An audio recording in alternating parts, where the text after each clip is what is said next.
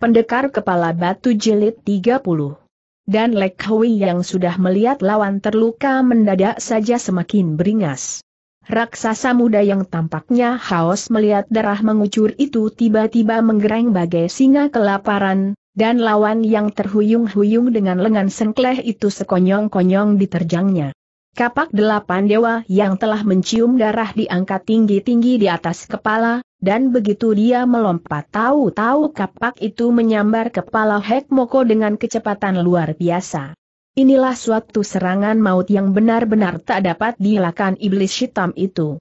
Dan Hek Moko yang pucat mukanya ini benar-benar tersirap. Dia kaget bukan main, tapi waktu yang tidak memberinya kesempatan lagi untuk bertindak membuat iblis hitam ini memekik. Dia meraung, ganas tapi juga gentar. Dan ketika kapak delapan dewa terayun di atas kepalanya Hek Moko tiba-tiba melompat ke belakang. Dia bermaksud menyelamatkan diri dengan jalan melompat mundur, tapi iblis yang sudah gugup dan serasa terbang semangatnya itu tiba-tiba mendapat sial. Kaki yang melompat ke belakang terpeleset jatuh, dan kapak yang sudah menderu hebat ini tahu-tahu menghantam dadanya. Krak! Hek Moko menjerit dengan pekik tinggi, dan iblis hitam yang terbelah dadanya itu terjengkang roboh dengan tulang terkuak lebar. Dia tak dapat mengelak maut, dan ketika darah menyembur deras dari luka-luka yang mengerikan itu ambruklah tangan kanan Shanggan Sian Jin ini dengan mati melotot. Dia tewas seketika dan para tamu yang melihat hasil dari pertandingan babak pertama itu sekonyong-konyong menjublak dengan mata terbelalak. Mereka ngeri melihat hasil kesudahan dari adu kepandalan ini, dan Lek Hui yang memperoleh kemenangan dengan mutlak tiba-tiba berdiri dengan mata berseri-seri. Krak! Hek Moko menjerit dengan pekik tinggi, dan iblis hitam yang terbelah dadanya itu terjengkang roboh dengan tulang terkuak lebar. Dia memandang semua orang, lalu menjura ke arah tuan rumah raksasa muda ini pun sudah memberi hormat dan melayang turun. Hiat Goan Pangcu, aku menang demikian teriaknya. Dan ketua gelang berdarah yang tertegun menyaksikan kehebatan murid Chiok Tau Tai Hiap sampai tercengang. Dia terkejut melihat sepak terjang raksasa muda ini, tapi Lek Hui, yang melayang turun mendadak mendengar sebuah seruan menggeledek. Bocah Sio, kembalilah. Lek Hui tersentak, dia menoleh dan begitu melihat siapa yang membentak tiba-tiba Lek Hui terkejut. Ternyata Chang Gan Xian Jin. Ah, kau Chang Gan Xian Jin pemuda ini mengerutkan keringnya. Ada apakah kau memanggilku? Datuk Iblis bermata hijau ini berapi-api mukanya. Aku ingin menantangmu, bocah siot. Beranikah kau menerimanya? Lek Hui seketika tertegun. Para tamu yang mendengar juga tampak terkejut, Sebelum murid Chiok Tau Tai Hiap itu memberikan jawabannya tiba-tiba Mau Sian Jin melompat maju. Changgan Sian Jin, tidak malukah kau menantang seorang yang baru saja bertanding? Di mana kejantananmu menantang seorang anak muda? Tapi Changgan Sian Jin tertawa mengejek malu tidak malu itu bukan persoalan orang lain, Pek Mau Sian Jin. Ada apa kau turut campur tantanganku ini? Takutkah kau kalau anak muda ini roboh menyusul pembantuku? Pek, mau Sian Jin menjadi marah. Tapi sebelum dia membantah tiba-tiba pendek kepala batu bangkit berdiri.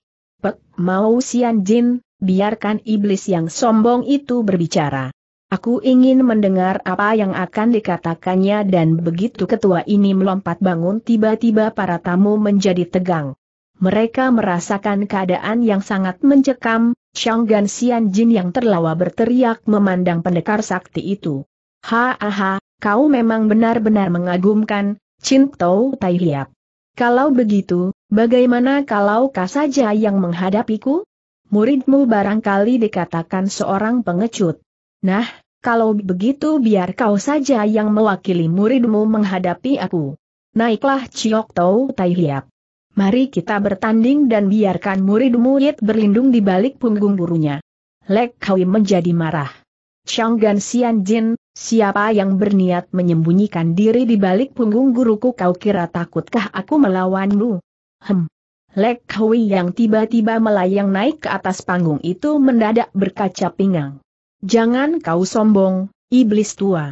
Aku masih sanggup bertempur walaupun sudah bertempur dengan tangan kananmu yang kubinasakan itu deh. Lek Hui yang kembali mencabut kapak delapan dewanya sudah memutar-mutar senjata berat ini dengan mekta terbelalak mars. Dia memang tersinggung sekali oleh kata-kata Chang Gan Xian Jin yang amat menyinggung harga dirinya itu dan Chang Gan Xian Jin yang diam-diam girang oleh majunya raksasa muda ini diam-diam mengerahkan pandangannya ke arah lawan. Dia pura-pura bersikap tak acuh, tapi melempar senyuman mengejek dia memandang pendekar kepala batu. Ciok Tau Tai Hiap, begenikah maksud hatimu? Kau tidak cepat memanggil muridmu ini, agar tidak roboh sia-sia di tanganku? Hem, lebih baik kau suruh turun muridmu itu, Ciok Tau Tai Hiap. Dan kau maju ya kemari hadapi kesaktianku. Ciok Tau Tai Hiap hendak bicara, tetapi Lek Hui yang sudah mendahuluinya berseru kepadanya, Suhu, jangan kau panggil aku ke kursi panggung. Bukankah dahulu kau memerintahkan kepadaku untuk membunuh iblis ini? Nah, sekarang dia menantangku, Suhu. Jangan jadikan teocu tertawaan orang banyak walau harus kau suruh mundur. Ketua Beng San Pai ini bersinar. Dia memang bangga mendengar dan melihat sikap muridnya itu, tapi menyadari bahwa Lek Hui baru saja melepas tenaga untuk menghadapi Hak Moko dia jadi ragu-raga. Sebenarnya, di dalam hati dia memang ingin menghadapkan muridnya itu melawan datuk sesat ini. Tapi mengingat Lek Hui baru saja bertempur maka dia pun menjadi bimbang. Dan Pek Mau Sian Jin yang khawatir menyaksikan kelengahan Lek Hui, tiba-tiba sudah berseru. Chang Gan Sian Jin, Jangan kau bakar semangat musuhmu yang muda itu. Kalau kau ingin mengajukan diri sebaiknya kau memilih yang tua-tua. Aku umpamanya, atau Hoa San Paicu maupun yang lain. Saudara Lek Hui masih lelah, tak mungkin menang melawanmu. Inilah satu pembelaan yang maksudnya baik.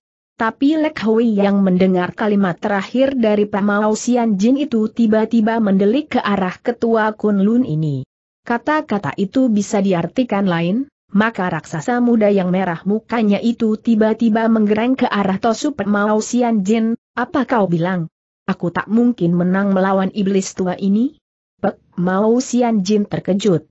Dia kaget melihat Lek Hui menggereng ke arahnya, dan sadar akan kekeliruannya bicara tiba-tiba dia pun buru-buru mengulapkan lengan. Tidak, bukan itu maksud Pinto, saudara Lek Hui. Tapi Pincau hendak maksudkan bahwa karena kau masih lelah tak mungkin dirimu harus menghadapi lawan yang segar bugar. Chang Gan Xian Jin tiba-tiba tertawa. Haha, kalau begitu boleh sekalian maju. Pek, mau Xian Jin. Aku boleh menghadapan dua lawan sekaligus kalau murid Chiok Tau Tai Hlap itu lelah. Pek, mau Xian Jin melotot. Dia gusar melihat kesombongan Datuk Lebelis itu, karena hal ini bisa mengacaukan maksud baiknya. Untuk menarik Lek Hui yang dasar berwatak keras itu benar saja sudah membanting kakinya. Chang Gan Xian Jin, jangan kau bermulut besar. Siapa takuti dirimu yang sombong ini? Tanpa dibantu Pek Mau Xian Jin pun aku dapat mengalahkanmu. Hayo majulah. Aku siap bertanding seribu jurus denganmu dan Lek Hui yang sudah menggedruk lantai panggung itu berapi-api matanya membakar lawan. Dia benar-benar merasa direndahkan, dan Chang Gesian Jin yang merasa pancingan ria berhasil tiba-tiba tertawa bergelak. Haha, singa muda ini ternyata nekat, Pek Mau Sian Jin. Bagaimana kalau suruh sekali lagi agar dia mundur? Pek Mau Sian Jin tak mampu bicara lagi.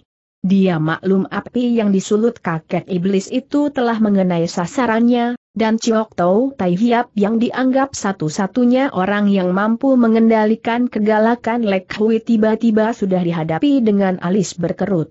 Beng San Pai Chu, bagaimana tanggapanmu tentang muridmu ini? Tidakkah sebaiknya dia dipanggil turun? Tapi Ciok Tau Tai Hiap menggelengkan kepala.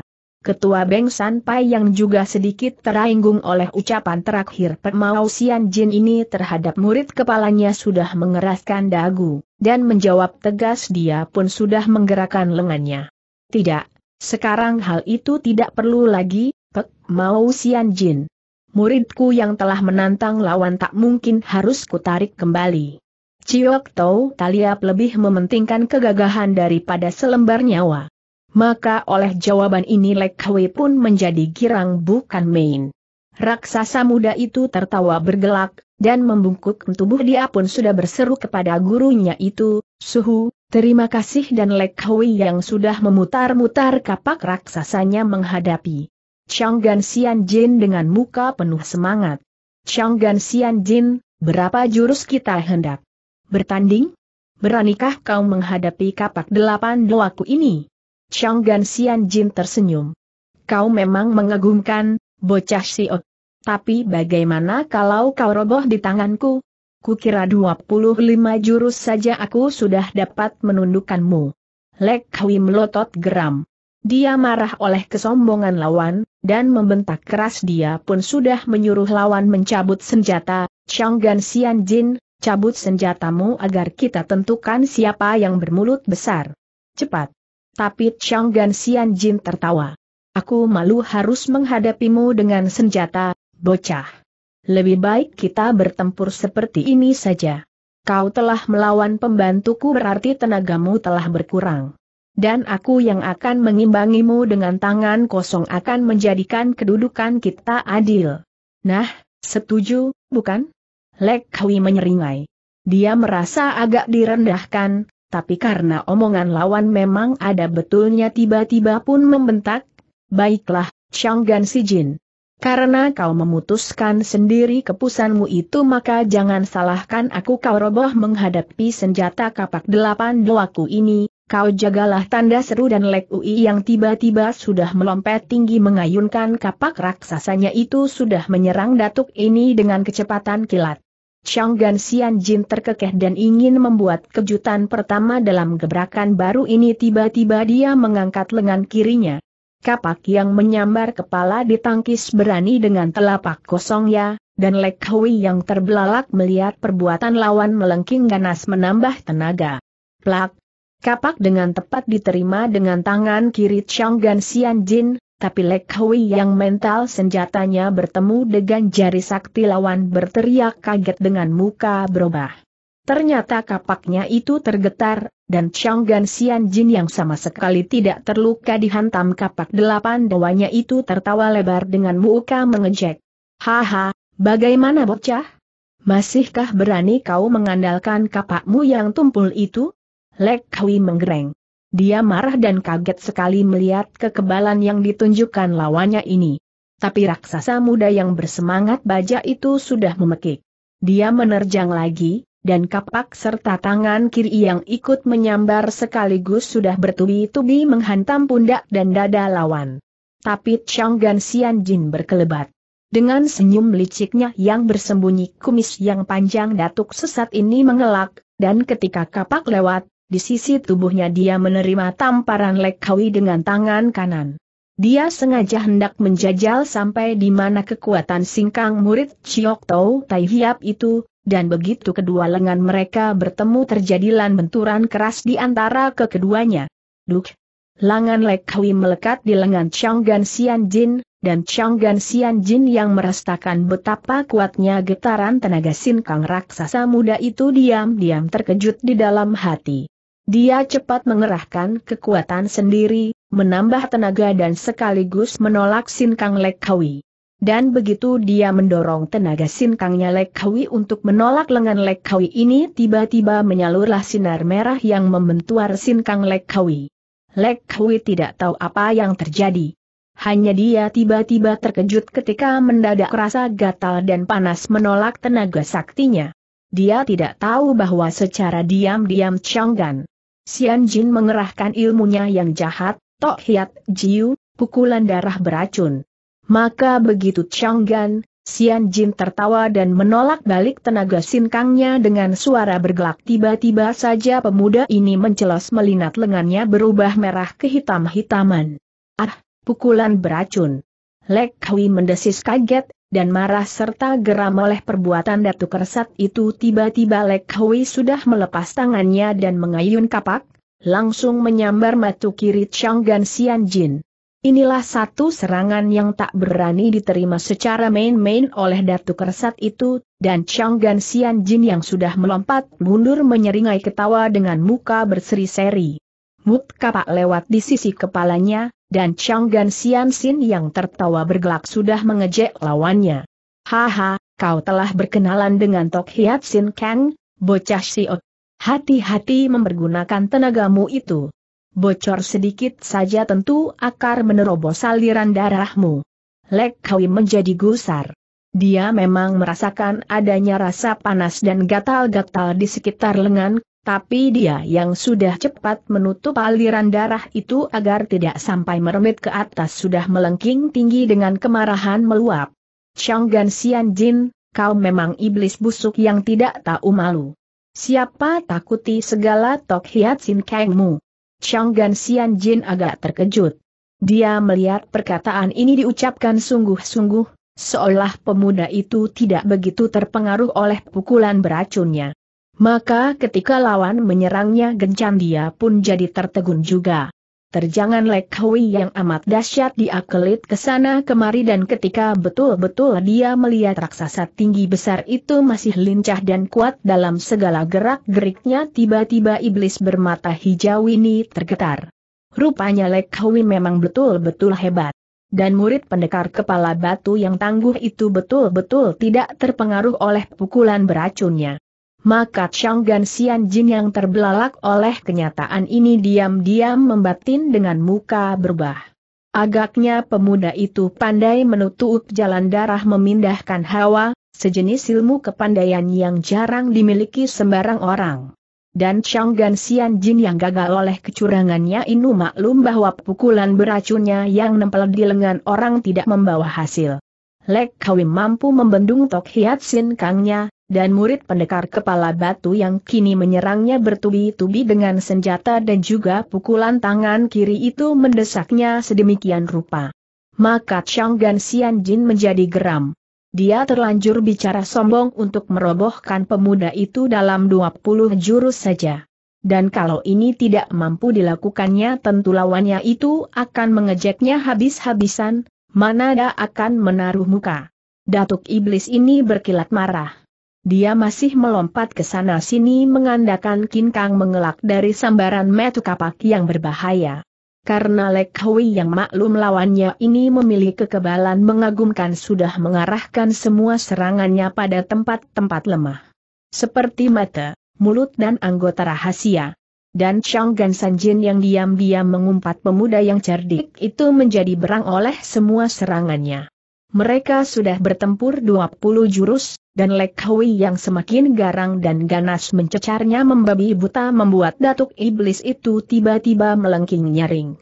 Kapak yang untuk kesekian kalinya menyambar matu sekonyong-konyong tangkap bukan hanya sekedar ditangkis.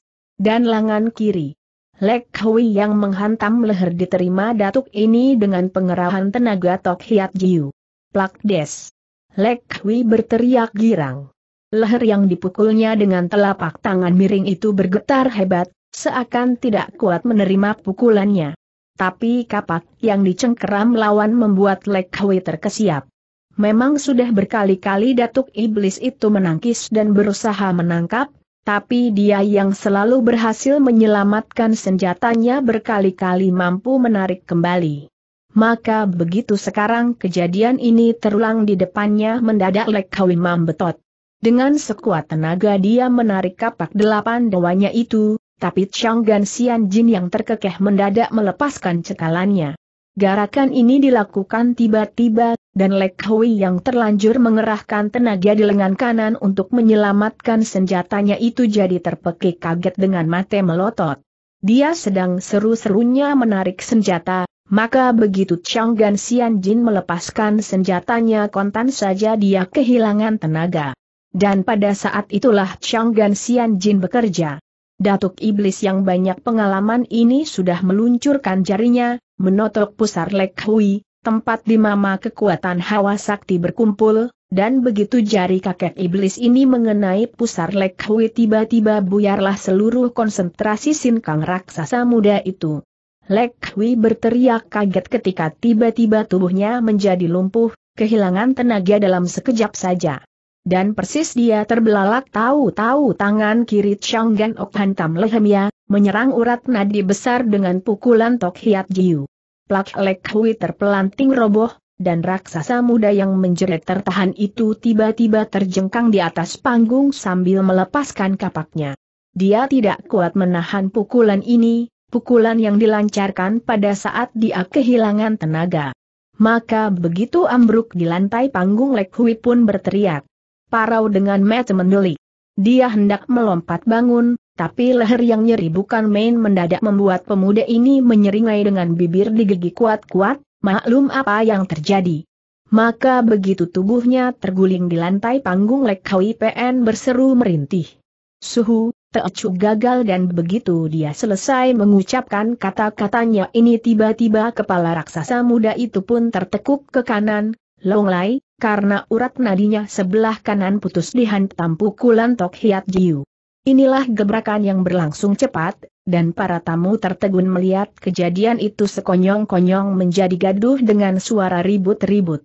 Mereka terpaku oleh peristiwa yang demikian menggemparkan ini, tapi gerengan perlahan yang menggetarkan ruangan bangsal agung mendadak membuat semua suara menjadi sirap. Mereka melihat Chiok Tau Tai Hiap bangkit berdiri dari tempat duduknya, dan pendekar sakti yang tiba-tiba sudah melayang naik ke atas panggung itu mengeluarkan bentakan dingin, Gan Sian Jin, berani kau membunuh muridku? Datuk Iblislah tergetar. Dia memang sudah mengetahui kemungkinan majunya pendekar besar itu tapi melihat Chiok Tau Tai Hiap sudah berdiri di depannya dengan mata berkilat-kilat itu mau tak mau dia menjadi berdebar juga. Bagaimanapun, jago-jago Beng Sanpai yang amat lihai ini memiliki kesaktian yang luar biasa. Dan melat pendekar besar itu memandangnya dengan sinar mata mencorong seperti matu naga sakti begini, mau tak mau Changgan Sian Jin tergetar juga.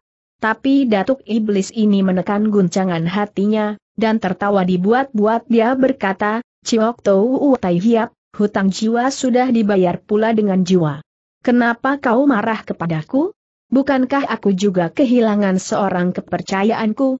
Plak Lek Hui terpelanting roboh, dan raksasa muda yang menjerit tertahan itu tiba-tiba terjengkang di atas panggung sambil melepaskan kapaknya. Ciok Tou Tai Hiap menggereng. Dia marah bukan main memandang lawannya ini, dan membentak perlahan dia mengibaskan kedua jarinya yang tiba-tiba berkerotok. Changgan Sian Jin, jangan banyak memberi alasan.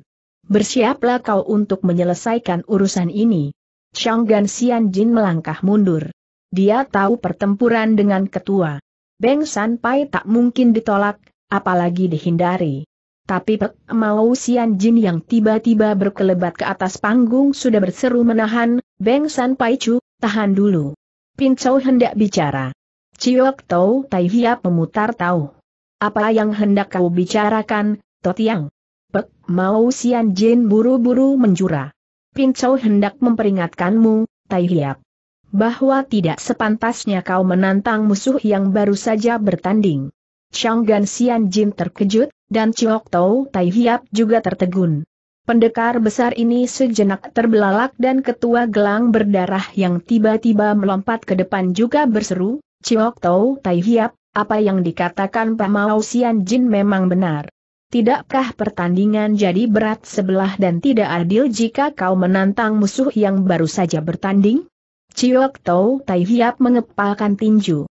Dia tidak berpikir sampai ke situ karena kemarahan telah membakar dadanya, dan ketua Bengan yang hendak membantah dengan mengatakan Changgan Sian Jin juga berbuat begitu terhadap muridnya tiba-tiba tertegun ketika mendengar isikan halus yang dilakukan dengan ilmu Choan Im Jip Bit di pinggir telinganya.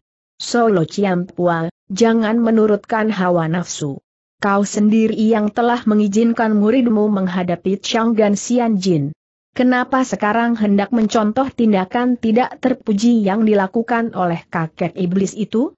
Bukankah nama Beng San Paicu bisa tercemar? Kendalikan nafsu kemarahanmu, Locian PWE.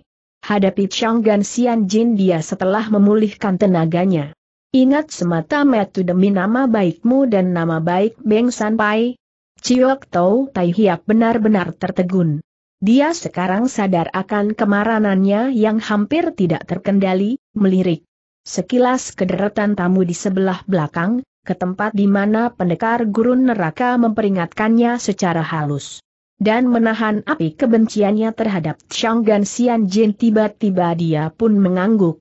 Baiklah, Hiat Gon Pangcu, karena Chang Gan Sian Jin telah melawan muridku, biarlah kutunggu dia sampai memulihkan tenaganya kembali. Tapi aku tidak menantang, begitu dia selesai, harap persoalan ini dituntaskan dan Ciok Tau Tai Hiap yang sudah memutar tubuh itu tiba-tiba melayang turun sambil menyambar jenazah muridnya. Dia melempar kemarahannya dengan kibasan ke kiri, dan begitu pendekar ini menggerakkan ujung bajunya, tiba-tiba papan panggung di depan Changgan Sianjin mengeluarkan suara keras ketika papan itu pecah dan kepingannya menyambar muka lawan.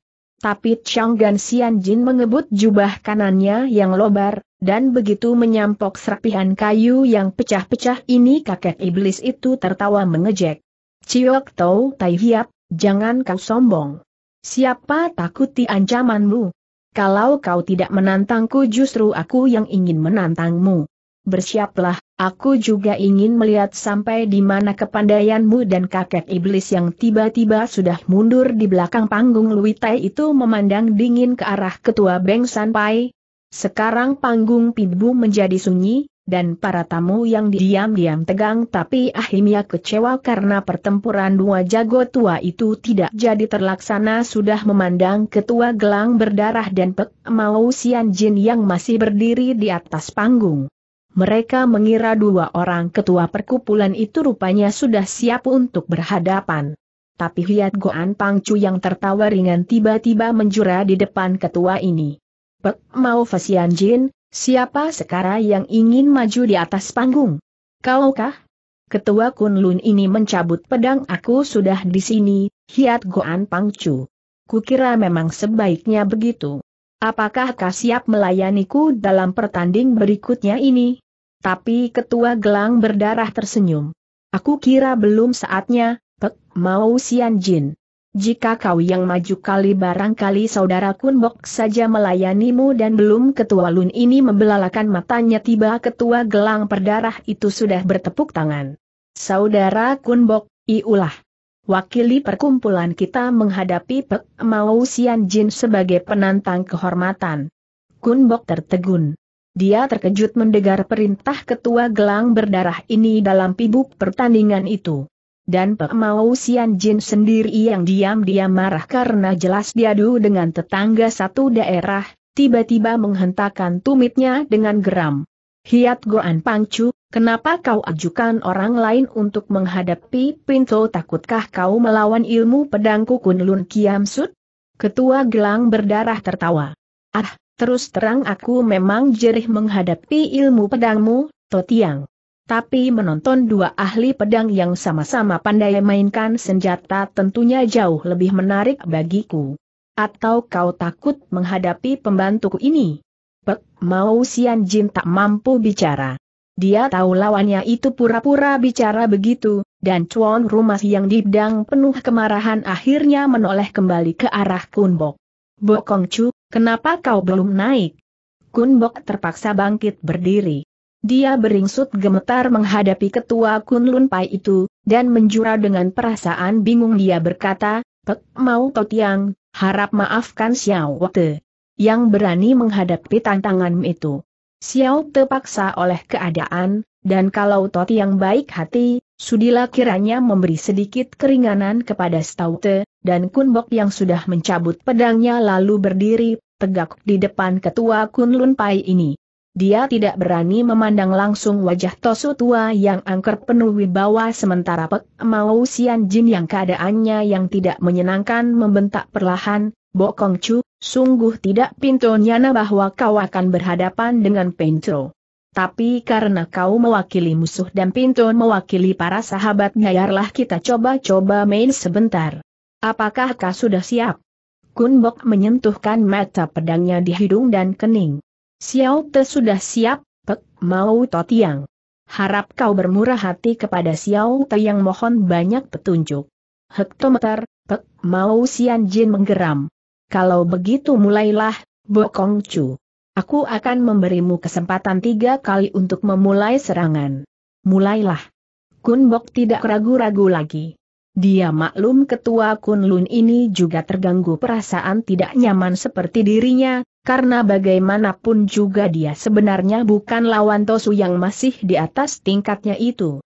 Tapi karena keadaan sudah memaksa dan mereka juga sudah saling berhadapan maka langsung saja pemuda ini mengeluarkan ilmu pedang tunggalnya, Bu Tiong Kiam Sut yang baru saja dipelajarinya secara tidak lengkap dari ayahnya itu, dan begitu dia membentak memberi aba-aba Kun Bok pun sudah menyerang maju dengan jurus pemukaannya, Tite Pai Seng, tudingan bumi menyembah bintang. Pek Mau Sian Jin berkelit ketika gebrakan pertama ini berlangsung, dan ketika Kun Bok mulai melancarkan serangan-serangan berikutnya tubuh ketua Kun Lun ini pun tiba-tiba berkelebatan di antara sambaran meta pedang yang berseliweran di sekitar dirinya. Dia sengaja mengalah tiga serangan pada lawannya itu, memberi kesempatan kepada Kunbok yang jauh lebih muda. Dan ketika tiga serangan itu sudah habis dilancarkan maka mulailah ketua Kun Lun ini membalas. Hati-hati, Bokong Chu, kesempatan yang kuberikan kepadamu telah habis. Kun Bok M ngerti, dia telah mempergunakan kesempatan itu, yang gagal dikerjakan. Dan ketika pedang di tangan ketua Kun Lun itu mulai membalas serangan-serangannya tiba-tiba Kun Bok menggigit bibir. Dia merasa Tite Pai Seng tadi dipersempit ruang geraknya oleh ketua Kun Lun ini, yang mempergunakan pula kibasan bajunya untuk menahan lingkaran pedang. Dan ketika sekarang ketua Kun Lun itu bergerak membalasnya mendadak tubuh tosut tua ini lenyap dibungkus gulungan sinar pedangnya. Pek Mau Sian Jin telah memainkan Kun Lun Kiam Sutnya, sebuah ilmu pedang andalan partai Kun Lun. Dan ketika pedang di tangan Kun Lun Paicu itu menyambar-nyambar bagai burung, tiba-tiba saja sinar lebar bagaikan payung telah mengurung putra Butiong Kiam ini. Kun Bok bingung, juga gugup karena sekujur tubuhnya tiba-tiba telah dikurung sinar pedang yang digerakkan demikian deras oleh ketua Kun Lun Pai itu. Dan ketika dia terbelalak kecut mendadak saja pundak kiri ini disambar pedang. Brett! Kun Bok celengos. Dia terkejut oleh tikaman ujung pedang itu, dan Pemau Sian Sin yang memutar senjatanya di balik gulungan pedang berseru, Bokong Chu, hati-hati. Padang tidak mempunyai mata. Kun Bok menggigit bibir. Dia mencekal erat gagang pedangnya, dan ketika Pak Mau Sian Jin kembali menyerangnya genjur sekonyong-konyong dia melengking pendek. Pedang yang tadi gugup tiba-tiba kini mantap di tangan, dan begitu Pak Mau Sian Jin menyerang tiba-tiba Kun Bok pun menubruk dengan terjangannya yang kedua. Dia mainkan jurus kedua yang disebut Heng Hun Pou, awan berarak hujan mencurah, dan begitu pedangnya bergerak tiba-tiba muncullah gelembung besar kecil yang menandingi payung pedang di tangan Pek Mau Sian Jin. Kun Bok mainkan ini dengan konsentrasi penuh, artinya bersungguh-sungguh karena maklum lawannya itu adalah jago tua yang banyak pengalaman. Dan ketika sudah mainkan jurus kedua ini terkejutlah ketua Kunlun Pai itu karena merasa sinar pedangnya mendadak tertahan oleh lelembung besar kecil di tangan Kun Bok. Pek Mau Sian Jin memang belum pernah mendengar ciptaan ilmu pedang yang baru diberikan Bu Tiong Kiam itu kepada putranya. Maka melihat tiba-tiba gulungan sinar pedangnya ditumbuk awan lebar yang bergelembung naik turun dari pedang di tangan Kun Bok tiba-tiba saja ketua Kun Lun ini tercekat. Dia melihat pedang di tangan lawannya itu membentuk gumpalan awan, atau mirip mega yang sailing berkejaran. Dan ketika mega itu semakin tebal dan bermacam-macam bentuknya tiba-tiba ledakan nyaring terdengar di tengah-tengah gulugan sinar pedang ini. Pedang Pek Mau Sian Jin tahu-tahu telah dipukul oleh pedang di tangan Kun Bok, menerbitkan suara nyaring tadi. Dan begitu suara benturan ini lenyap tiba-tiba saja muncul titik-titik kecil yang menyambar ratusan banyaknya ke muka tokoh Kun Lun Pai itu. Aih, Pek Mau Sian Jin terkejut dan Tosu yang tiba-tiba melompat mundur ini menggerakkan lengan kirinya ke depan. Dia mempergunakan singkang menyapok, dan begitu jubah luarnya membentur titik-titik kecil yang menyerang dirinya itu, terdengarlah berulang-ulang suara trak-trik trak-trik yang lirih. Jubah tua Kun Lun ini tahu-tahu telah robek ditusuk ujung pedang yang seperti gerimis itu, dan ketika Pak Mau, Sian Jin menendang ke atas barulah pedang Kun Bok yang menyerangnya itu terpental dan lenyap serangannya. Ih! Pek Mau Sian Jin terbelalak dan Kun Bok sendiri yang terkejut melihat pedangnya hampir terlepas oleh tendangan ketua Kun Lun itu juga tertegun oleh kelihayan lawannya ini. Tapi Kun Bok sudah menyerbu lagi, dan hatinya yang diam-diam girang oleh hasil serangan Heng Hun U itu sudah berteriak kembali dengan tusukan bertubi-tubi. Kun Bok langsung melanjutkan tikamannya pada jurus ketiga, yang disebut Bu Tiong Bo Anseng, bintang bertabur di dalam kabut. Dan Pemau Sian Jin yang terkesiap oleh serangan pemuda ini sudah menggetarkan kedua lengannya dengan pengerahan sinkang penuh. Ketua Kun Lun ini tadi melihat bahwa keganasan ilmu pedang lawannya itu hanya mampu dilumpuhkannya dengan kelebihannya dalam hal singkang, karena dia menang lebih kuat tenaga saktinya dibanding lawannya yang masih muda ini. Maka begitu Kun Bok menyerangnya dengan jurus yang tampaknya lebih berbahaya tiba-tiba ketua Kun Lun ini pun membentak. Dia menangkis tikaman pedang yang bertubi-tubi yang seolah-olah bintang leluncur dari langit dan begitu pedangnya menangkis pedang di tangan awannya itu langsung saja ketua Kun Lun ini mengerahkan tenaga. Plak kering.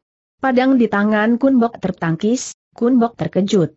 Dia melihat pedangnya mental ke atas, dan sementara dia terbelalak kaget tiba-tiba pedang di tangan, Pek Mau Sian Jin telah menyambar tenggorokannya.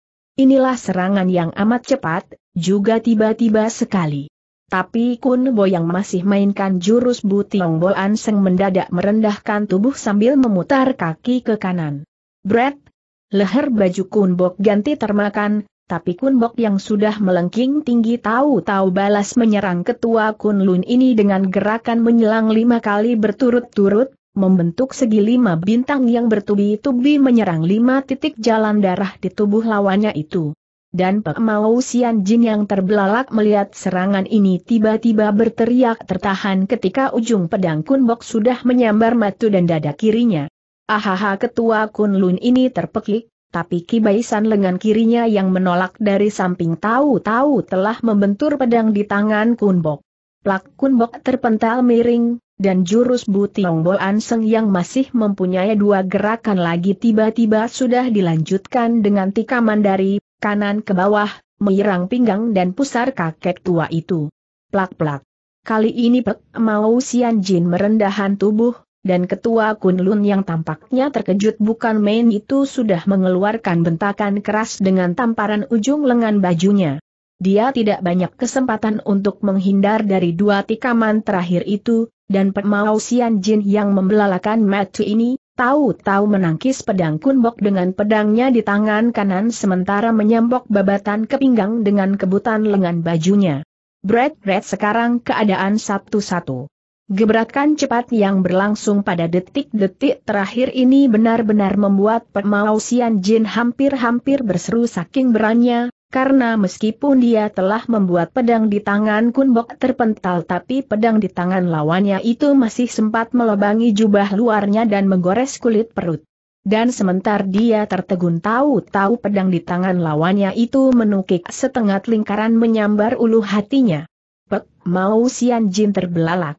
Dia tidak dapat mentolerir lagi akan serangan yang amat berbahaya ini. Dan begitu dia membanting kaki sambil membentak keras tiba-tiba ketua Kunlun ini sudah menggetarkan kedua lengannya.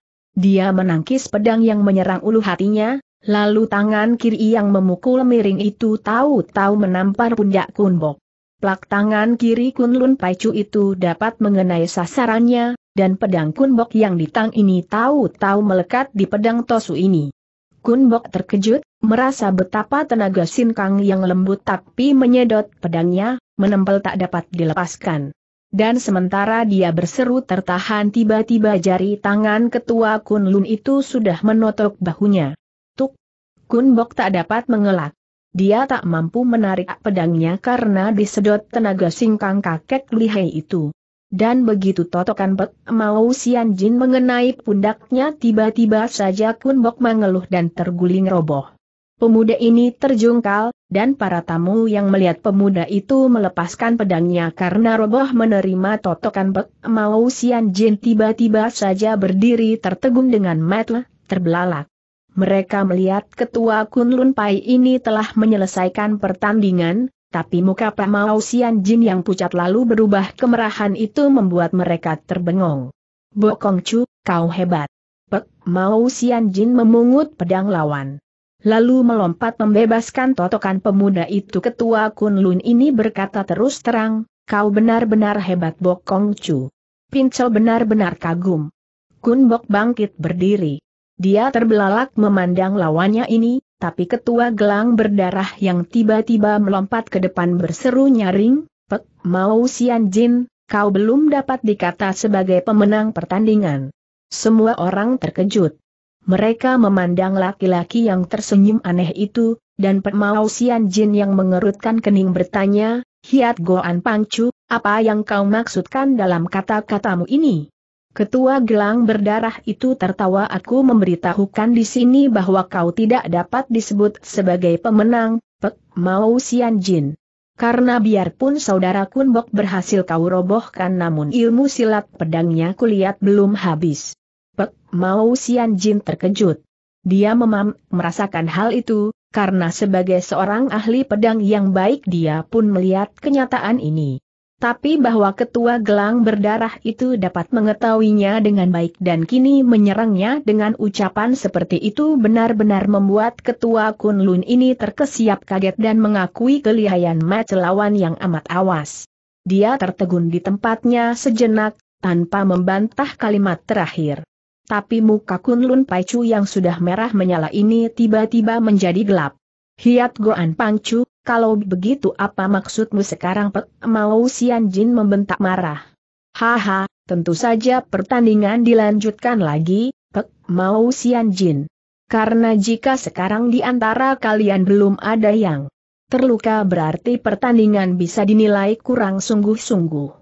Pek Mau Sian Jin mendelik kau menghendaki pertumpahan darah, Hiat Geluan Pangju. Kau hendak menanam permusuhan langsung antara aku dengan Bu Tiong Kiam Kunseng? Ketua gelang berdarah itu terkejut.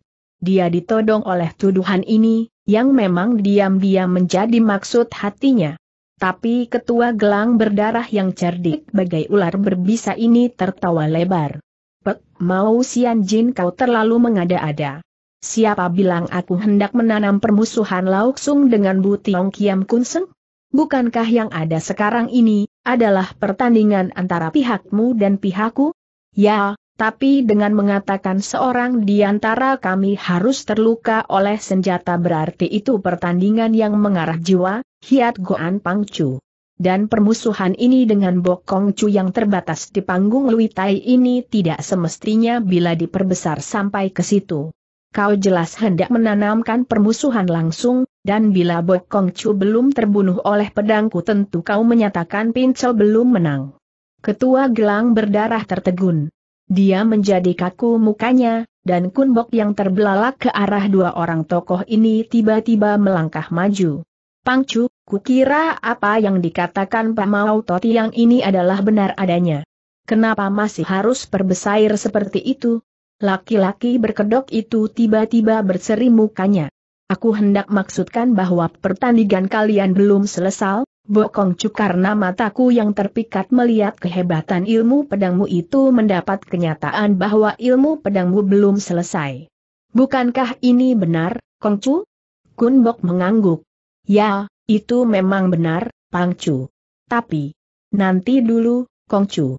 Jangan putus omonganku. Kalau benar ilmu pedangmu belum selesai bukankah pibu masih bisa dilanjutkan ketua gelang berdarah hai memotong. Dan kalau kau teruskan ilmu pedangmu itu tentu pek mau akan roboh, bokong cu. Karena pedangmu yang hebat dan luar kulihat jauh di atas ilmu pedang yang dimiliki ketua Kun Lun Pai ini. Kun Bok tertegun. Dia terkejut dan bangga mendengar ketua gelang berdarah ini berani bicara seperti itu, memuji ilmu pedangnya setinggi langit tapi merendahkan ilmu pedang Pek Mau Sian Jin. Omongan yang mendekati kebenaran tapi merendahkan tapi juga sekaligus menghina pihak lawan. dan Pek Pek Mau Sian Jin yang terobek harga dirinya itu tiba-tiba membelalakan mata. Hiat Goan Pangcu, kau rupanya ingin mengadu domba kami kakek itu membentak. Kalau begitu mengapa tidakkah saja yang menghadapi Pinto? Bukankah Pinto sudah menantangmu terang-terangan? Haha, aku belum ingin melayanimu, Pek Mau Sian Jin. Karena seperti yang aku bilang tadi aku masih ingin melihat kalian berdua sebagai jago-jago pedang mempertunjukkan kelihayan kalian. Siapa yang mengadu domba? Pek Kermau Sian Jin melotot.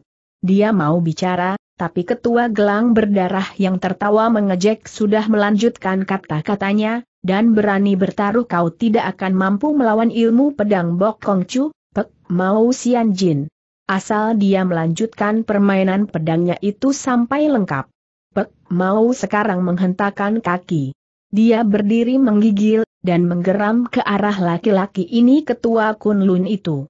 Berkata, suaranya dalam dan serak, gemetar oleh kemarahan yang meledak-ledak, Hiat Goan Pangcu, meskipun kau kelihayan matu yang awas tapi jangan kau sombong.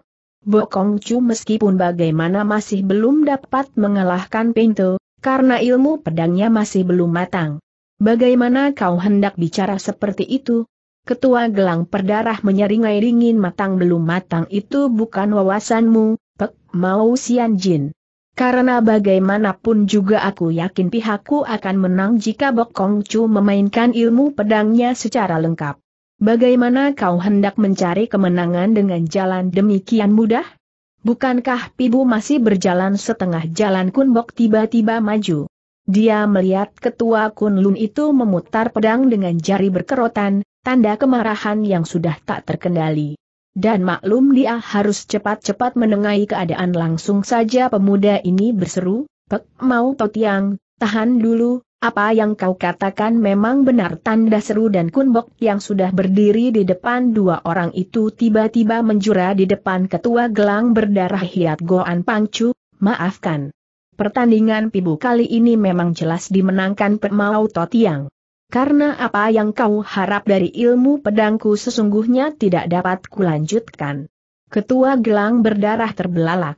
Apa yang kau maksudkan, Bokongju? Begini, Pangcu, Kun Bok menarik nafas panjang. Apa yang dikatakan Pak Mao Sian Jin tadi memang tidak salah. Ilmu pedangku belum matang, dan biarpun benar pula bahwa ilmu pedangku belum kukeluarkan secara lengkap tapi bagaimanapun juga pertandingan ini telah dimenangkan Pak Mao yang karena aku tak dapat melanjutkan permainan berikutnya. Kun Bok berhenti sejenak. Dan melihat semua orang memandang kepadanya dia pun buru-buru menyambung, dan ini tak dapat kulanjutkan karena aku masih belum ahli jurus-jurus berikutnya itu, Pangcu. Dengan lain kata bahwa yang kumiliki sekarang ini barulah jurus-jurus yang itu saja. Aku belum sempat mewarisi jurus-jurus berikutnya dari ayah karena sibuk dengan adanya persoalan jodoh ini. Ketua gelang berdarah terkejut. Dia membelalakan mata dan Pek Mau Sian Jin yang merasa tertolong mukanya oleh pengakuan pemuda itu menjadi girang di dalam hatinya. Nah, apa yang ku katakan, Hiat Geluan Pangju. Ketua gelang berdarah itu tertegun. Dia memandang Pek Mau Sian Jin, dia pun tertawa. Ah, kau sungguh beruntung, Pek Mau Sian Jin. Kau tadi ku tahu begitu tentu tidak perlu aku membuang-buang waktu di sini. Baiklah, pihakku kali ini kalah dan pertandingan pibu berikutnya bolehlah kita teruskan lagi tanda seru dan ketua gelang berdarah yang sudah melompat mundur itu memandang sisa empat temannya dengan muka sedikit gelap.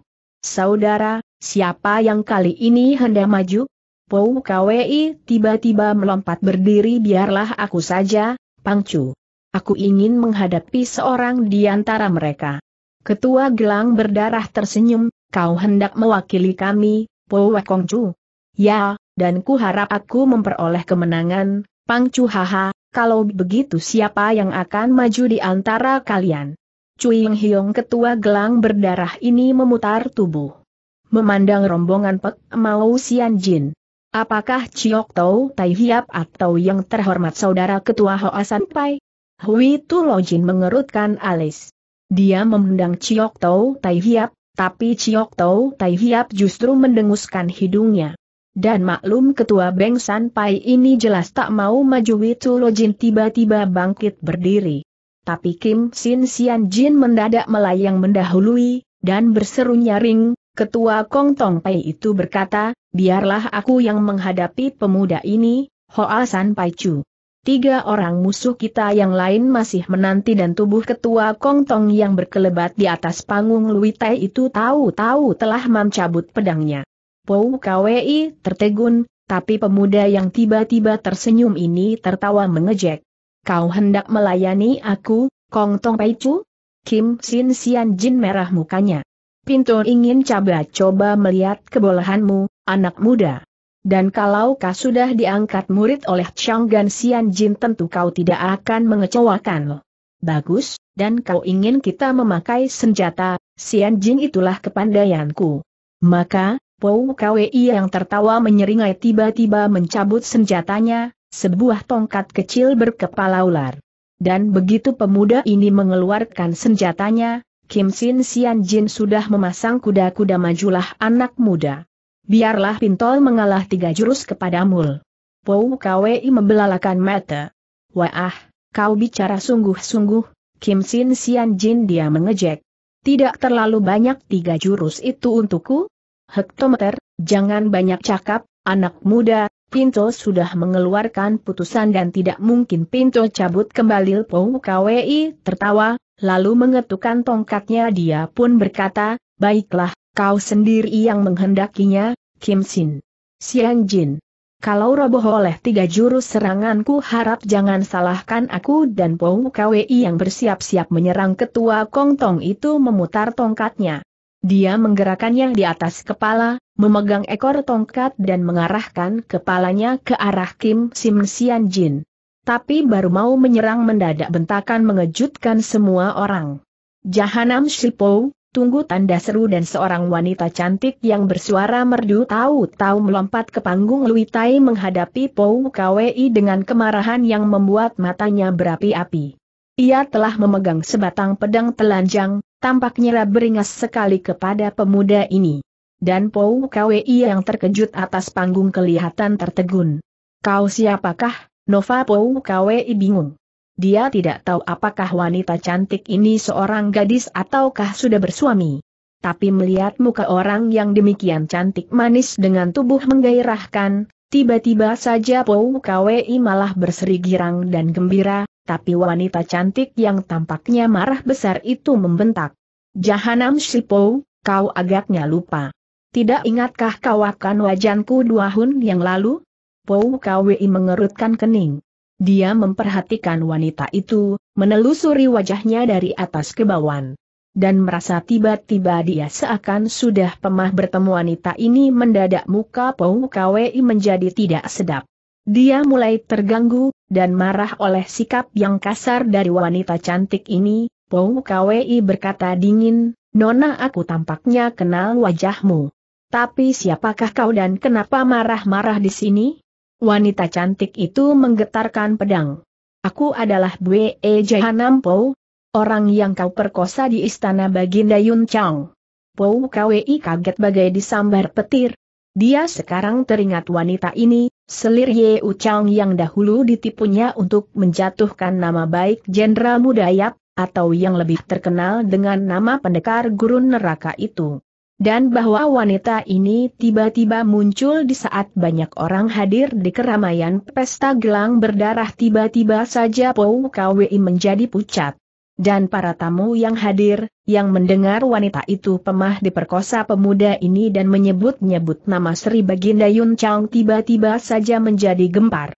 Mereka terkejut, dan wanita cantik yang dipandang terbelalak di atas panggung itu tiba-tiba saja menjadi pusat perhatian semua orang. Mereka melihat wanita itu memandang penuh kebencian kepada lawannya, dan Pou KWI yang tergetar mundur tiba-tiba membentak, wanita siluman, Kenapa kau datang-datang menuduh orang? Apa buktimu tentang fitnahan ini? Wanita cantik itu menggigit bibimnya. Ia memang benar Bwe Eli adanya, selir Yun Chang yang dulu tergila-gila kepada Yap Goan Sui. dan mendengar pemuda itu menuntutnya sebuah bukti Bwe Eli membelalakan matanya penuh kemarahan.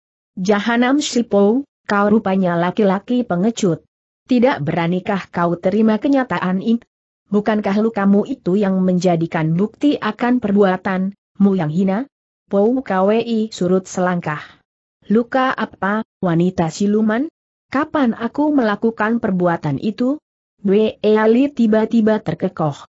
Kebencian dan kemarahannya yang amat sangat terhadap pemuda ini membuatnya memendam sakit hati setinggi langit, dan begitu Pou KWI menanyakan perbuatannya tiba-tiba Bue Eli maju selangkah. Orang si Pou, kau malam itu menyihir diriku. Mempermainkan diriku dengan mengubah rupamu menjadi Yap Goan Sue. Apakah itu? Bukan merupakan bukti yang cukup lalu sebelum lawan menangkisnya dengan pertanyaan lain Bue Eli sudah menudingkan pedangnya, dan kau memang jahanam keparat, Orang Sipo mempergunakan kekagumanku pada Yap Goan Sue kau lalu memasuki kamarku, mengajakku bermain cinta dan menodai nama baik jenderal muda itu hingga terusir dari istana. Apa ini juga hendak kasangkal sebagai perbuatanmu kemudian melanjutkan dengan suara tinggi Bwe Eli meraung histeris, menjerit kepada pemuda itu, dan malam ini aku ingin membunuhmu, Orang Sipo aku ingin mengoyak-ngoyak dan mencabik tubuhmu lalu Bwe Eli yang melompat ke depan itu tiba-tiba meluncurkan pedangnya menusuk tenggorokan Pou KWI. Plak Pou KWI menangkis. Padang yang sudah ditolaknya ke samping itu kontan saja dicengkeram, tapi Bwe Eli yang membalik pergelangan tangannya mendadak memekik sambil membabat kaki lawan dari bawah. Pou KWI terkejut, dan marah oleh perbuatan wanita ini, dia melompet tinggi. Pedang yang membacok kakinya lewat di bawah, dan ketika wanita itu menjadi kehilangan sasaran tiba-tiba Pou Kuye menggerakkan tongkatnya. Das Bwe Eli menjerit. Pundaknya terpukuli dan Pou Kwe yang sudah melayang turun mendadak mengayun kaki menendang leher wanita itu. Buk Bwe Eli terpelanting. Ia hampir saja kehilangan pedang saking kerasnya tendangan itu. Tapi ketika Bwe melompat bangun dan hendak menerjang lagi tahu-tahu ketua gelang berdarah menghadang maju dan mengeluarkan bentakan keren. Kou Nio, tahan dan Bwe yang berapi-api mukanya itu memandang beringas wajah ketua gelang berdarah ini. Kau hendak terbuat apal Hik Pangju? Kau hendak membela jahanam busuk itu? Ketua gelang berdarah mengerutkan kening. Kau pendatang asing, Kowenio. Bagaimana bersikap demikian kasar di perkumpulan gelang berdarah? Siapa yang memimpinmu kemari Bwe Eli mengigil penuh kemarahan. Aku tidak ada yang menyuruh, Pangcu. Yang memimpinku kemari adalah hasrat akan dendamku yang menyala-nyala. Hektometer, dan kau melempar fitnah keji di sini Kowenio. Bwe Eli melotot. Siapa melempar fitnah, Pangju? Tidakkah kau tanyakan pada jahanam itu apa yang dilakukan padaku dua tahun yang lalu? Ketua gelang berdarah terpaksa menoleh. Kau melakukan perbuatan itu, saudara Pou Kui. Pemuda ini tentu saja menggeleng.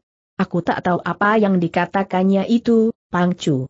Barangkali saja pemuda lain yang telah memperkosanya dan datang-datang melemparkan kotoran ke muka kul. Dwe Eli meingking. Kau berani menyangkalnya, Jahanam Sipo? Kau berani berbuat tak berani bertanggung jawab? Ketua gelang berdarah ini mengangkat tangannya.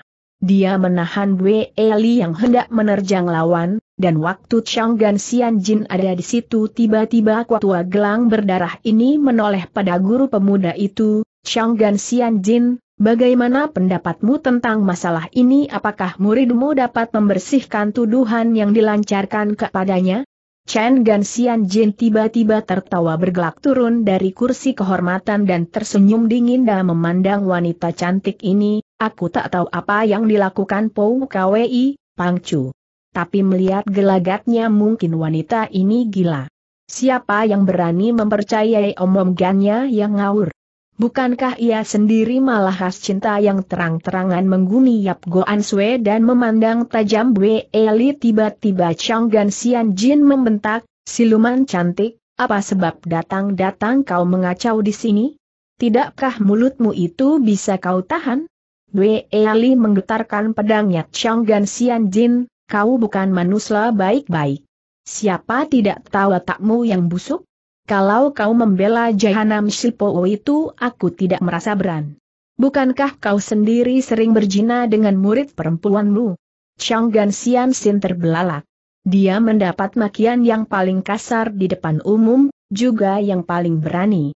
Dan marah oleh hinaan yang amat hebat ini mendadak Chang Gan Sian Jin menggerakkan gulungan lengan jubahnya. Wanita siluman, kau rupanya kurang ajar sekali.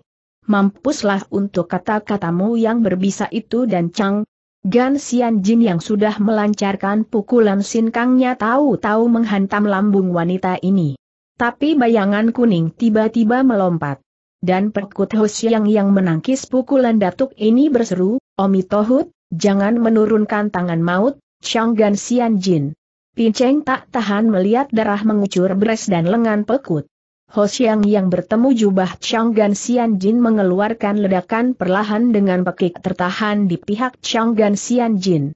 Datuk Iblis itu marah, tapi melihat Pekut Ho Xiang yang maju, dia menahan diri. Pekut Ho Xiang, kau juga hendak melibatkan diri dalam persoalan pribadi? Hwasio itu menarik nafas panjang. Dia menggeleng lemah, dan tersenyum pahit, dia memandang datuk iblis itu. Omi Tohut, Piceng tidak bermaksud mencampuri urusan orang lain, Chang Gan Sian Jin. Tapi melihat tanganmu yang ganas Pinceng terpaksa membela wanita ini. Ia tak berurusan langsung denganmu, kenapa hendak menurunkan tangan kejam kepadanya?